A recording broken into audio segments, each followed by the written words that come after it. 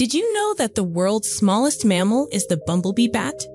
These tiny creatures are found in Thailand and Myanmar, and they are no bigger than a thumb.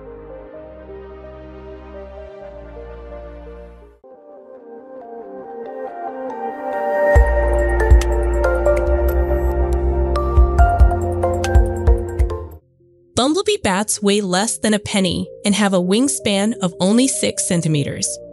They are so small that they can easily fit in the palm of your hand. Despite their tiny size, they are able to fly and hunt for insects just like larger bats. Another interesting fact about bumblebee bats is that they live in large colonies, sometimes with more than 1,000 individuals in a single cave. But perhaps the most fascinating thing about bumblebee bats is their unique mating behavior. The females will only mate with males that have the largest roosts or living spaces. This means that the males have to compete with each other to build the largest roosts in order to attract a mate.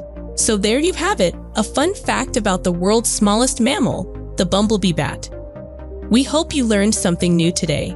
Thanks for watching, and don't forget to subscribe for more fun facts and interesting information. See you next time